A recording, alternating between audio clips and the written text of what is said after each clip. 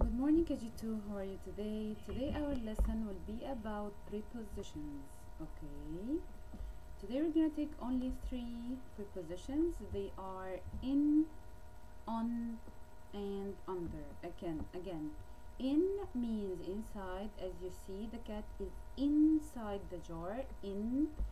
Here, on, the cat is on the jar means on the top of the jar and here the cat is under the jar okay? Under okay? Okay. Let's check here in the picture. Where is the boy guys? The boy is huh, on or under or in the car? He is on the car. He is sitting on the top of the car. Okay let's find the dog okay here the dog is on here on the top or in means inside the car or under the car. He's hiding under the car. Ah, he is under the uh, sorry it is under the car. Okay very good. Here we have three cats.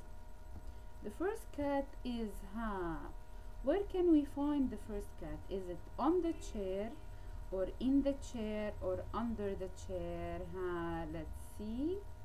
The cat is under let's read the word under under ha here this cat is on the bench under the bench or in the bench? Ha who can tell?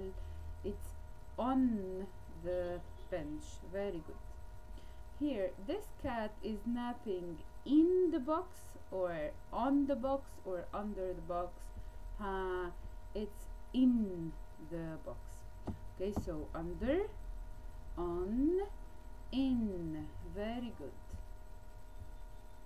Okay now we're gonna write the words or the prepositions we took today on in and under. Let's start by on. How do we write on guys? Oh oh huh on. Okay very good. This is the first one on. Okay let's write in. Ha I, I, I, I.